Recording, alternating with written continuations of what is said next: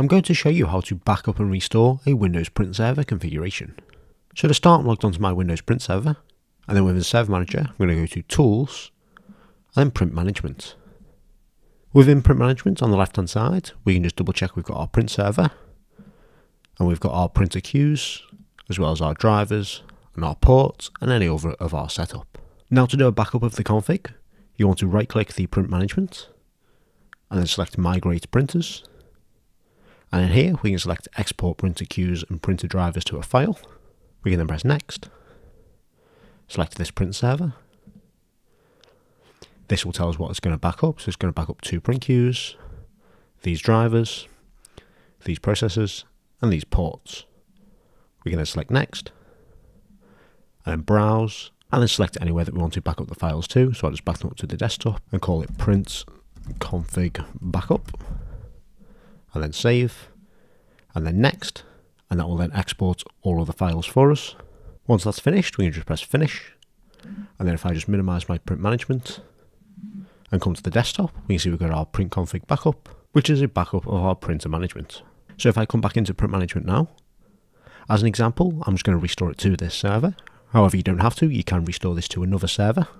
So if I just come to my printers and then just delete the print queue, and then I'll delete the driver. And then if I come to ports, I will delete the ports as well.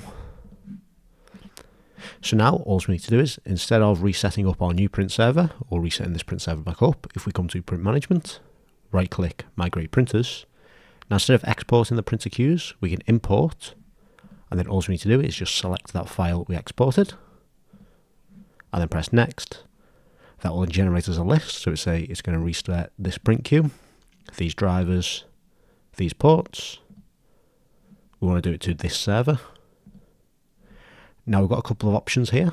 So if any of the information already exists, we can either keep the existing printers that are on this print server, or we can just overwrite whatever is on this print server with this backup. So we can just keep, keep existing printers, or if we want to force it, we can overwrite the existing printers. Then if any of the printers were listed in the directory, it will either relist the ones that were, it'll list all of them, or it won't list any of them. I'm just going to leave these as default, and then press next, and that will restore our print server from our backup. Now that's done, we'll just press finish.